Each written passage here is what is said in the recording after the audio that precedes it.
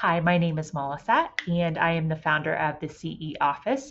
Today I'm sharing with you a template made with Notion for executive support teams. So, whether you're an executive admin or an executive assistant and you're supporting a founder, this template is made for you and your founder to work together. So, a lot of times in your day to day work, there will be personal elements that you're responsible for in supporting the founder. This template is for that purpose alone. All of the other business functions are still going to live here under the virtual office space. You can find this executive support, uh, support page under the operations section, but it will be private just to you and the founder. Going through this briefly, you'll have this dashboard that shows the executive or the founder's name, their contact information, and their communication preferences or style.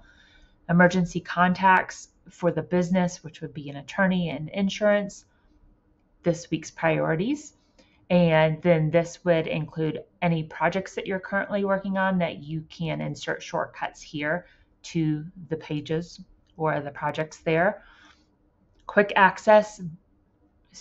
So this database holds information for the personal side of the founder.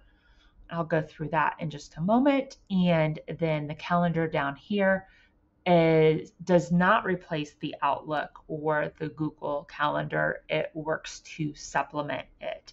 And what I mean by that is it provides an overview when you're planning out events or travel, it will show down here.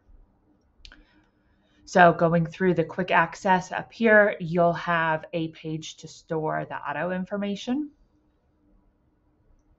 So those details there, dietary and health, family information, home information, passport information for travel, password vault, although I don't recommend putting passwords in there. You should use a password keeper. And then style guide.